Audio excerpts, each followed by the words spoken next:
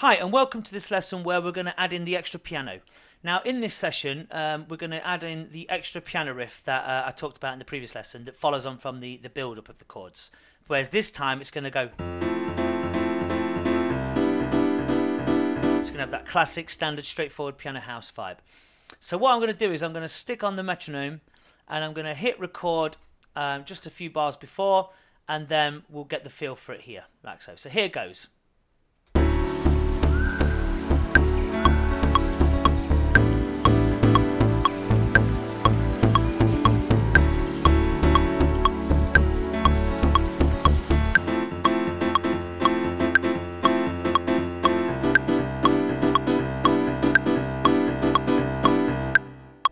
That's it. And all we're going to do is we're just going to use the first two chords of the uh, the riff for this section before we go back into the the four chords. So I'm going to quantize that. There's a few notes here that are a bit off, so I need to just straighten them out. That needs to be coming on the line. Let's just open those up slightly.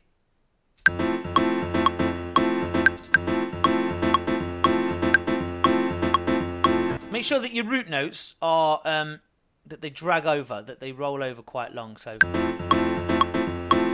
there's not much of a gap between each one, so that the sustain of the notes uh, follows on, it lingers on, um, like so.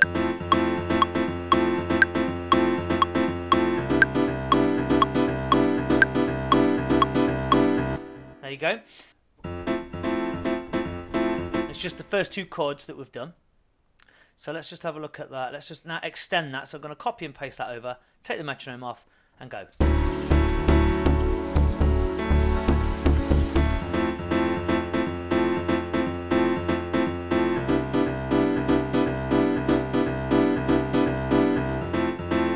Oh, I don't like the end bit, so let's just set that right.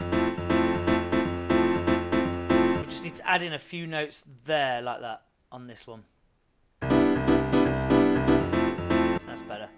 So it goes like that. Let's copy that over again. There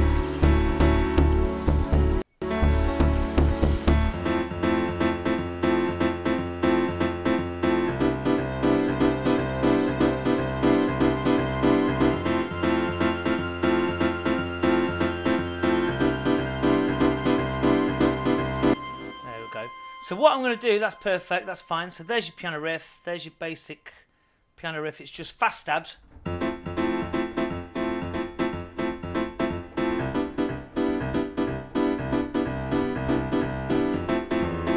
Just like that. So very simple, very straightforward. I mean, you could do it any kind of way. You could go like.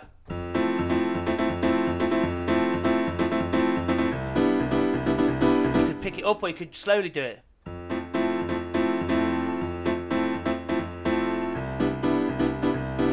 you know, you could sustain the notes and, and, and the, the chords. You could drag them out a bit. However you want to do it is up to you, but it, there's no right or wrong way of doing it.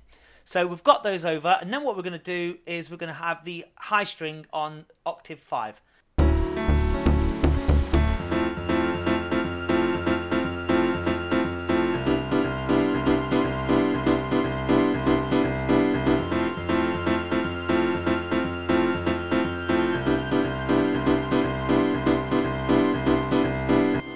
And there you go, just a very straightforward couple of notes, F and the C, and then it goes up to the G and then back down again. So let's just open that up, and there we go. Let's just quantize those, and it just has that extra, you know, um, little bit of uh, atmosphere.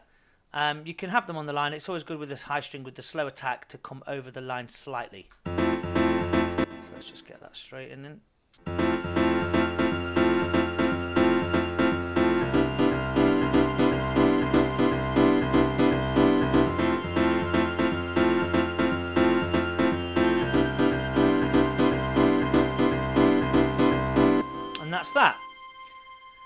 So, copy those over again. Just get that on the line, make sure that it all rolls over perfectly. And copy the pianos over again. And we'll do that for that section there. And that'll be fine for that section there. And then we're going to put some kicks in over here as well. So what we'll do is uh, we'll grab one of the kicks like that. Pull that in. Copy those over again and again, like so. Put a wind chime there. Okay, let's just try that.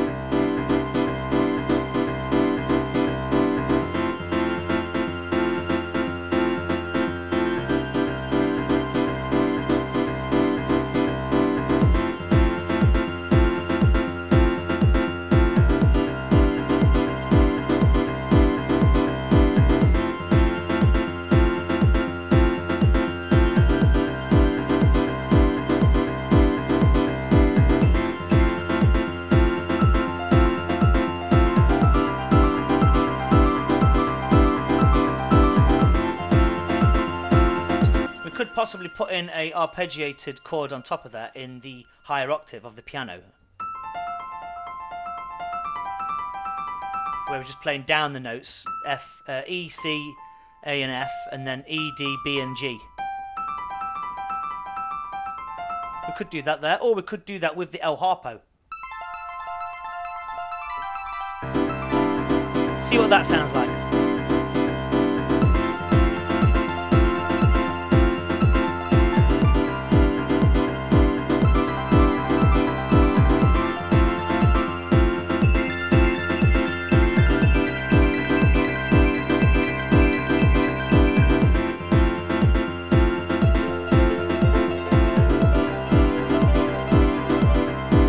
Possible. Um, I think we'll take that to the next level um, uh, on the next lesson, where we'll probably add the piano in uh, on a higher octave. You again, it's subjective. So um, head over to the next lesson, and we will take this further into the uh, next developing stage. So any questions, just email me, and I'll respond within 24 hours. Thank you, and goodbye.